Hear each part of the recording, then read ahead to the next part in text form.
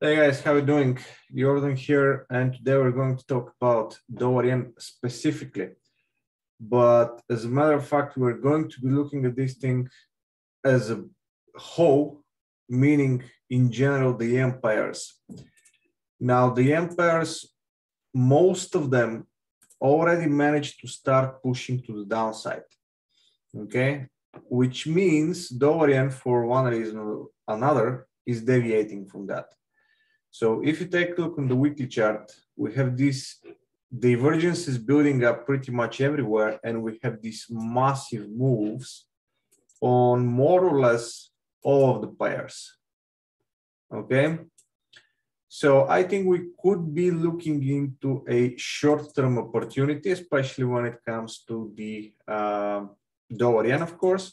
And again, if we go to the daily chart now, I'm, I'm speaking, but you should be also watching what's happening here. Look, where do we stand? So basically, this is the top, and we have one massive move, right? But more or less, this is just two candles to the downside. Look where the other yen pairs stand in terms of um, the top, where the top is, and what kind of moves we got after the top was created. So Dollar yen is lagging when it comes to this kind of correlation, and this is clear everywhere, okay? So my idea here and assumption is that I was waiting for this to happen actually. Daily chart shows the divergence, and on the lower time frames, I would like to start looking for sell opportunities.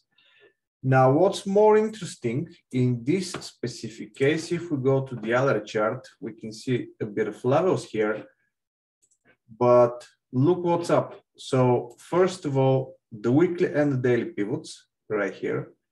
Platform X is showing us in the short term, look for pullbacks and then sells, right? This is what this thing means. And then when I take a look at the um, volumes, we see that the zone fits very, very nicely with weekly and daily. So is that a coincidence? I don't think so. We have a massive level right here. And last time we went to this point and we visited, you can see the kind of reaction we got from this zone. And you can see also the way we broke through that zone. So pretty massive move up until this point. And once we came to this level, the price stopped, spike started happening, consolidation started happening, up and down, up and down, fighting, and only then it broke. In my opinion, this is a sell opportunity right here. So the next time we go ahead and visit that zone, I will be looking for sell opportunities. And I think as a short-term setup, this actually makes a lot of sense you can see where the uh, platform X invalidation is for the daily chart. You can see where the weekly and the daily support number one stands, right? So something like this makes a lot of sense. Of course, first of all, we need to go ahead and break the bottom of this range, the bigger one, where we have the monthly pivot in between, and then we have the absolute bottom, sorry, something like that right here.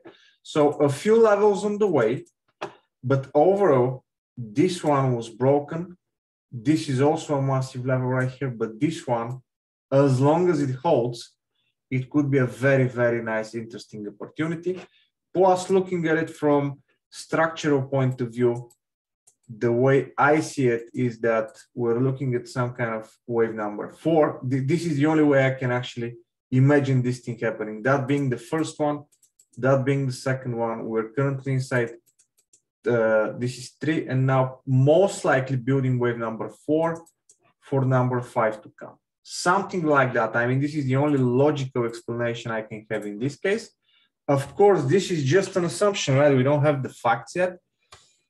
Uh, but everywhere I look, this is what I see, okay? I see a sell opportunity. So the first zone I'm going to focus is right here. And if you're going to be looking for aggressive setups, you can do it in one way. If you're going to be looking for conservative setups, you can do it in another way. But this is up to you to decide, right? Uh, I'm taking you 90% to the final goal. Now it's your job to decide if you like it at all and if you're going to trade it, which way exactly you're going to be trading it. So that's pretty much it. If you have um, any questions on the way how these things are done precisely when it comes to my personal experience and the way I'm trading, feel free to check out the traders terminal website. You can find the links below. Also, quick reminder that uh, the platform X Black Friday offer is expiring in a few hours. So if you like it, you can definitely check it out. Again, the link is below in the description. All right, guys, thank you. And I'll see you in the next video. Bye for now.